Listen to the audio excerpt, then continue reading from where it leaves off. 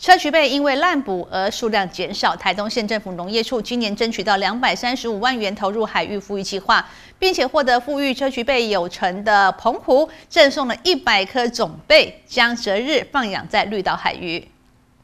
绿岛周边干净清澈的海水，清楚看见许多海中生物悠游其中，更是许多国外喜爱潜水的人士最爱的潜水热点之一。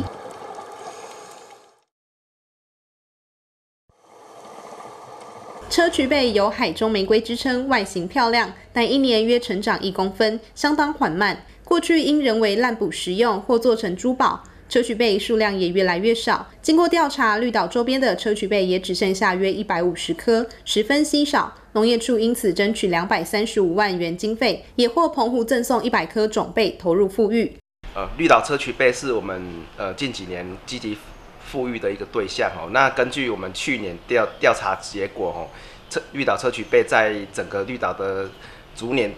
的环境中都数量都会递减。那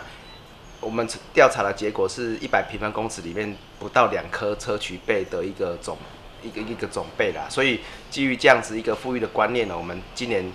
呃跟中央单位争取一一些预算哦，然后我们预计来跟澎湖这边来做。自备的一个移植，那预计移植数量是一百颗。那在我们绿岛这边，我们会放置适合的地点，然后去培育这些自备的生长。好，那一方面也作为一个社区备的一个富裕区，然后一个示范区给呃其我们各大家看，就是说绿岛这边还是有一些呃呃约资源需要保育的。那也希望大家能够珍惜这个呃得来不易的社区备的一个资源，尽量不要去采捕它。农业处强调，虽然经费不多，也希望投入海域富裕工作，能增加海洋生态多样性的保育。记者潘俊伟台东市报道。